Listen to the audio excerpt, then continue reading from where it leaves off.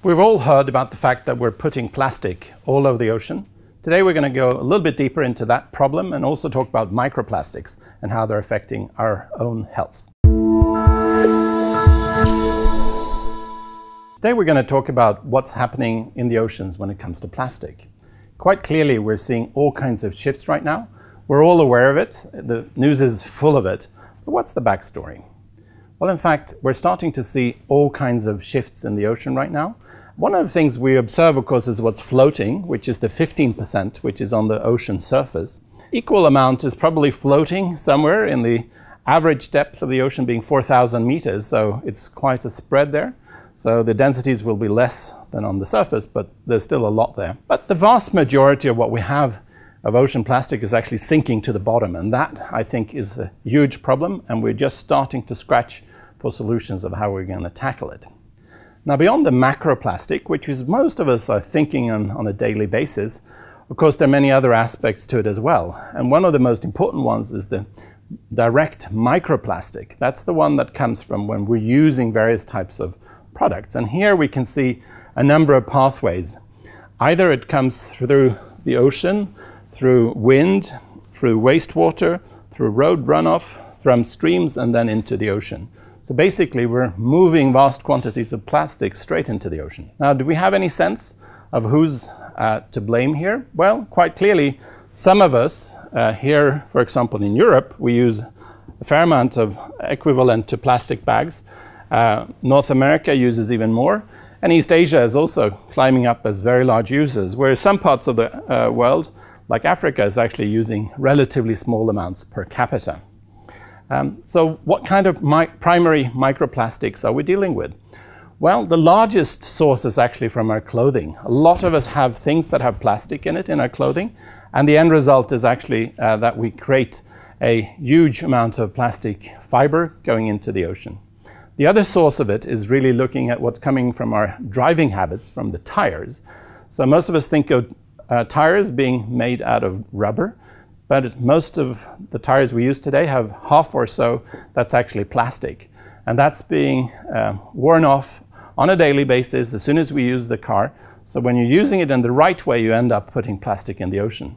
The third category is what we call city dust. This plastic dust is basically coming from cities, and it can be all kinds of uses of our daily life.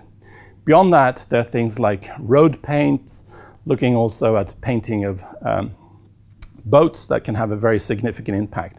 And the very small ones are actually the 2% here coming from our health products, uh, scrubbers, for example, or toothpaste. And in several countries now, we've already outlawed the use of this. But in some places, we think we've dealt with the problem when we dealt with the 2%, but we have all the other types of uses that we still need to deal with. Now, looking across the world, we quite clearly have some parts of the world that are putting out more than others. So we can see in North America, primary microplastics is more than the larger macroplastic being emitted. In Europe, it's about 50-50. Looking to Asia, that's where the biggest amount of leakage is taking place, particularly of macroplastic, but even micro is very large there. So this graph, I think, illustrates where the big investments are needed and who needs to deal with the problem. So what are the effects of this? Well, this is a schematic way of describing how plastics comes into various types of organisms. Increasingly, the small amounts of plastic actually get into the plankton, which is the main basis for feeding lots of things in the ocean, which means that ultimately plastic actually is pretty much everywhere at this point. Now, as we're starting to get better and better of analyzing, it turns out plastic is even making it into uh, our basic cells.